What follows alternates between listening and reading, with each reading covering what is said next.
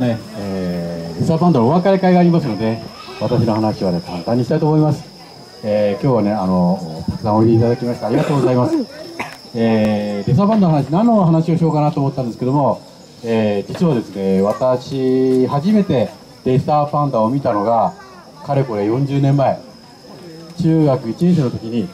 えー、私、大宮に住んでたんですけども、電車に乗って多摩動物公園まで来ました。で、その時に初めて見たんですけども、当時上野動物園いなかったんですよね。それでタワーで行ってみました。えー、綺麗でしたねえー、あのアジアゾウの隣のところにレッサーパンダの小屋がありまして、えー、そこにいました。かなり遠かったんですけどもその時の美しさは今でも忘れないでおります。皆さんはレッサーパンダ最初にどこでご覧になりましたかね？ね。えー、よいしょ。えー、っとね。日本でねあの最初に来たレッサーパンダはいつかっていうと今からちょうどね100年前なんですね。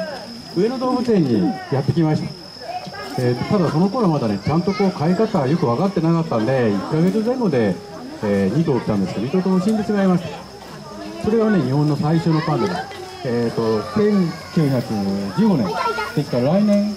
えー、100周年になるんですね日本にレッサーパンダが来てから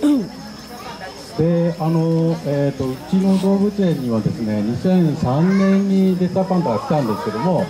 その時に、えー、レッサーパンダをどこで買おうかどこでお客さんに見てもらおうかっていうのを、えー、みんなで考えました。で当時ので、えー、園長が、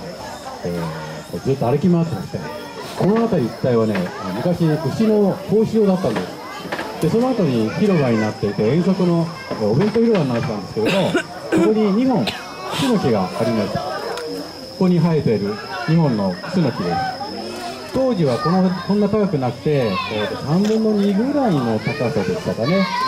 で下にベンチがあったりして。で、えー、どこにしようかな、えー、道から近い方がいいね平らな方がいいねっていろいろ考えてじゃあこの木を囲っちゃおうか。って思ったんですね。でもう当時はあのいろんな動物園にあのレーサーバンドいたんですけども例えば横浜の野毛山動物園だとかえー、甲府の有機動物園だとかとっても見やすいねあのパンダ舎があったんです、えー、ボート堀で、えー、隔てていて、えー、すぐ目の前で同じ高さでレッサーパンダ見れました、えー、すごく素晴らしい展示だったんですけどもその時はそう思ってました。だけどちょっと待てよと。レッサーパンダをどうやってお客さんに見てもらおうかなって考えた時に私たちが考えた時に3つ実はねポイントがあるんですよねお客様に見やすい展示それから動物が、えー、住みやすい展示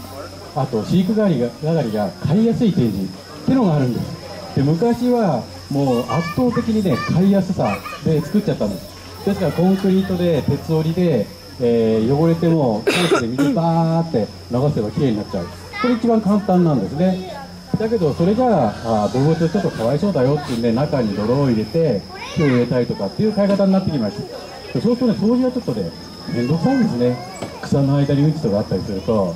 なかなか衛生的に飼えないので病気の心配なんかもあります。で、えー、だんだんだんだんやっぱり動物のこと考えようよっていうことでじゃあレッサーパンダ木登るの得意だから低い木じゃなくて大体それまではね動物園にあの行くと檻の中に、まあ、これぐらいの高さのツゲの木とか、えー、ツバキとかそういうのが植えてあってそこに登ってたんですけども当時の園長はこのクスノキを見てじゃあこの登ってるところを見てもらおうよ。って思ったんですね。それはねあの外国の動物園にそういうのがあったんです。決してねあの建物は立派じゃないんですけども簡単なフェンスで覆われてるだけなんですけども高い木があって上を見てもレザーバンナ見えないぐらいの木なんですよ、えー、アメリカのね動物園にあったんです。でじゃあそれをやっちゃおうよ。っていうことになってここのクスノキの周りにフェンスを作って隣に小屋を作ります。動物園でねレッサーパンダを飼うときに考えない考えなきゃいけないこと2つあるんです。日本でレッサーパンダを飼うときには夏の暑さを超えるために冷房室が絶対必要なんです。ですからクーラーのついた冷房室。それとレッサーパンダが大好きな竹がいつも準備できるかどうか。これが大事なんですね。ですからこの小屋は、えー、決してねお金はかかってないんですけども冷房室が1つあります。それから竹はですねえー、大体よくの動物はみんな、え会社に頼んでお金で買ってましたでも埼玉はこの周りにとっても優しい人がいっぱい住んでます。で皆さんにお願いしましたで裏山にある妄想岳の林をちょっとパンダにくれませんか？ってお願いをして、えー、取ってきてます。ということで年間何百万円という竹の餌の予算を節約できたんです、えー、たまにですね埼玉はね。そして、えーえ、この周囲、まあ、東松山市だとか大瀬だとかダンカンだとか周りの方にお願いをして今でも毎週シーガガリとそれから餌を調達する、えー、植物の担当者3人で半日かけてトラックで竹を取ってきます。ですから一番新鮮な竹を自分たちの目で選んで取ってこれるんですよね。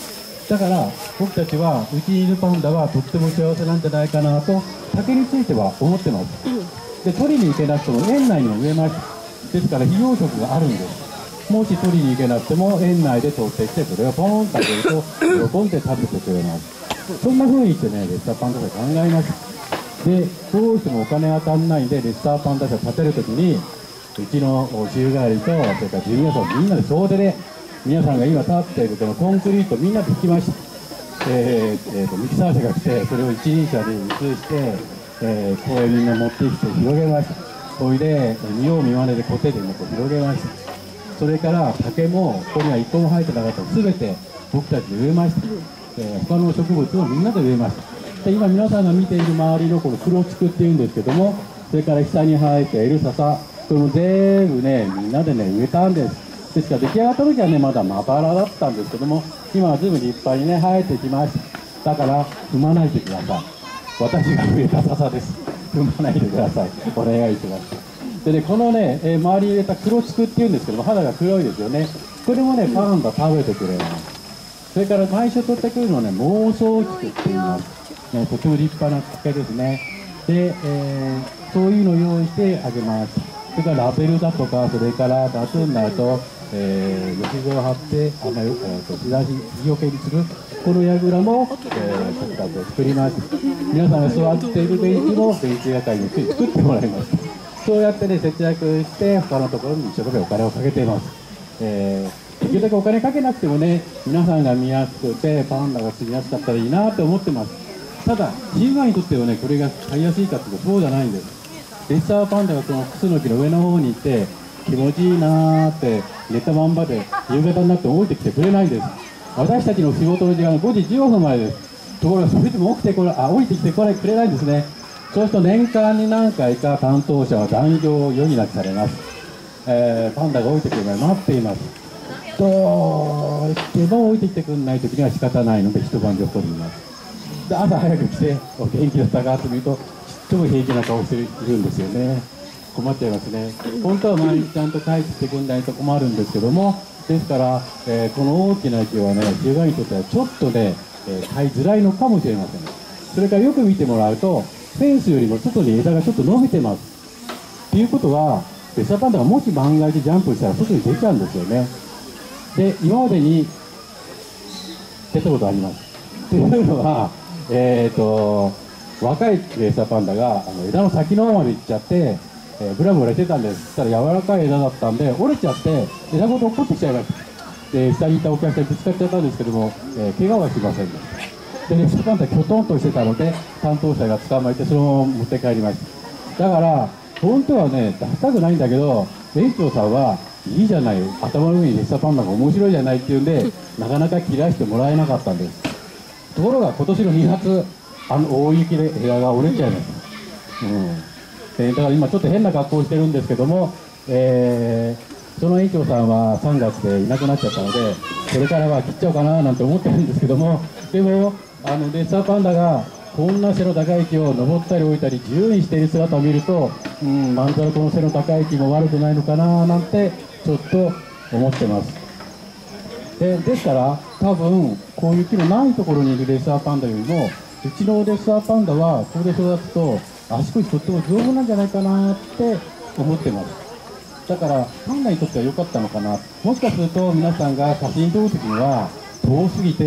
えー、撮りづらいよとか光が反射しちゃって撮りづらいよって思ってる人もいるかもしれませんけども多分パンダはいい顔してくれてるんじゃないかなって思ってます。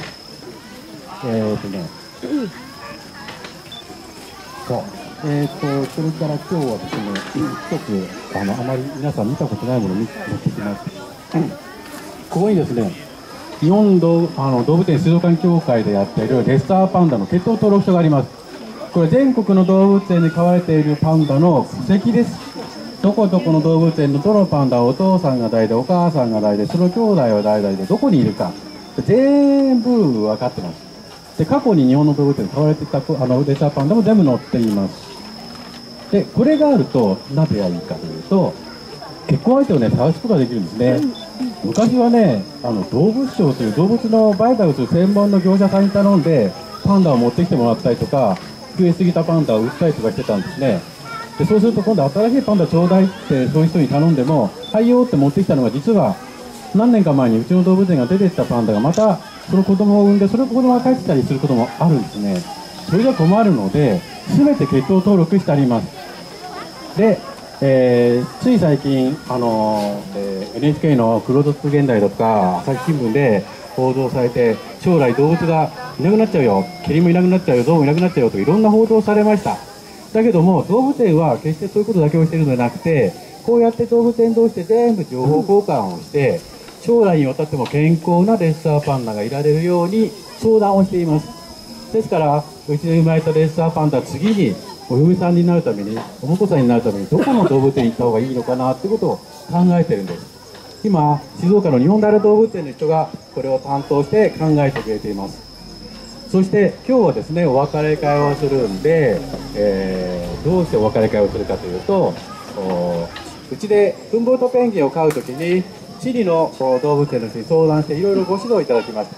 でうちの園長や担当者もチリの動物園行って向こうの動物を見させてもらいましたで向こうの動物園の人が、えー、ぜひ動物交換しましょうよいろんな交流しましょうよって言った中でチリにはまだレッサーパンダが一頭も飼育されてないんですね。でぜひチリの子供たちにレッサーパンダを見せたいんだけどもなんとか融通できませんかってお話が来ました。でうちの動物園は、えー、すごいことにあすごくないかな。あのうまく増えていて、えー、若い、え、レッサーパンダいますよ。日本にはこんな状態ですよってお話をしたので、えー、ぜひくださいっていうことでうちの動物園からレッサーパンダオスイとメスイと送り出すことになりました。ですから、えーと、皆さんは、えー、ご存じないかもしれませんけど日本に初めてジャイアントパンダが上野動物園に来た時に大変な大歓迎されて大人気になりましたよね。もしかしたらチリにうちのこのレッサーパンダが行った時にチリで大人気になっちゃうかもしれませんね。きっと大事に飼っていただけると思うしチリの人たちはみんな喜んで見てくれるんじゃないかなと思います。きっとねアイドルになっちゃうんじゃないかなと思います。で今この血統登録書を見ますと、えー、毎年ですね。12月31日でねアンケートをまとめるんですけども去年の12月31日現在で全国に265頭いるんですレッサーパンダ。で53箇所の動物園で飼っています。すごいですね。